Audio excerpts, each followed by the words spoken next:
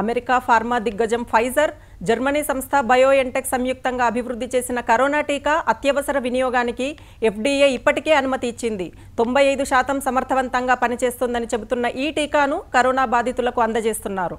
అమెరికాకే చెందిన మొడెర్నా సంస్థ అభివృద్ధి చేసిన టీకా ఎంఆర్ఎన్ఏ ఒకటి రెండు ఏడు మూడుకు అత్యవసర వినియోగం అనుమతి ఇచ్చేందుకు రంగం సిద్ధమైంది. ఈ మేరకు కార్యాచరణను ముమ్మరం చేసినట్లు ఎఫ్డీఏ కమిషనర్ స్టీఫెన్ హన్ చెప్పారు.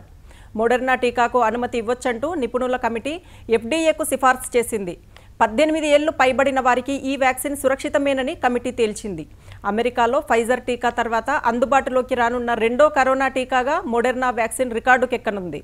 గత వారం ఇదే నిపుణుల కమిటీ ఫైజర్ టీకాకు అనుమతి ఇవ్వాలంటూ సిఫార్సు చేయగా ఒక్క రోజులోనో ఎఫ్డీఏ నుంచి అనుమతి లభించింది. మోడెర్నా టీకాకు సైతం త్వరలోనే అనుమతి వస్తుందంటున్నారు.